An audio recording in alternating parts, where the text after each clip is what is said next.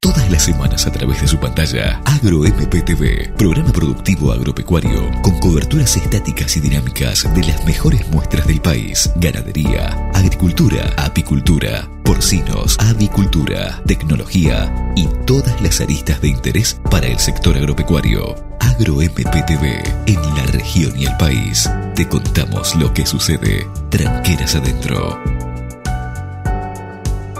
Bueno, estamos en una huerta acá en barrio, una parte está en barrio Latino, otra parte en barrio Palermo, creo.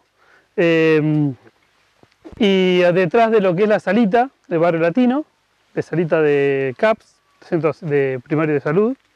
hablamos en Pro Huerta de rotación, que acá de hecho la están haciendo también porque van sacando lo que cosechan y van cultivando otra cosa aparte, ya preparándose para la temporada que sigue y van rotando los cultivos. Entonces donde pusieron una cosa, después ponen otra para, que no, para no poner siempre el mismo cultivo en, el mismo lugar. Y la otra es la asociación. La planta tiene que contrarrestar esa temperatura que estamos sintiendo ahora, que nos estamos quemando de abajo para arriba en realidad, y eh, eso influye en el momento de germinación de la semilla, que tiene una temperatura determinada durante determinada cantidad de días, con una humedad determinada para que pueda germinar bien, ¿Qué es lo que está pasando. Se está eh, ya desde la que temporada otoño-invierno. Cada huerta tiene su secreto y su forma de manejo. Yo digo, eh, cuando uno da las charlas, que da las charlas en general y habla de la especie, las condiciones y cómo hacer una huerta familiar y todo eso, eh, de hecho hoy tenemos la buena huerta familiar, es esto. Ahora, la huerta familiar que está acá... Soy la referente de la CCC, eh, Corriente Clasista Combativa. ¿Qué es, significa Es una organización social, está en todo el país, por todos lados hay, esa organización. Que viene de la mano del plan potenciar, ¿verdad? Claro, es potenciar trabajo. Potenciar trabajo. Claro, lo que los chicos...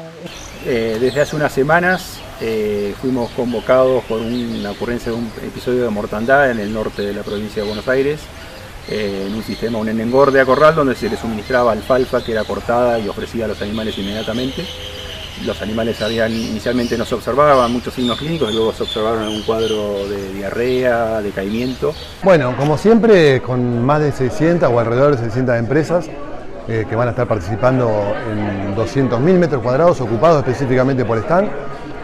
Aparte de todo este mundo de, negocios, de las empresas y demás, eh, vamos a tener toda una serie de contenidos renovados, seis auditorios.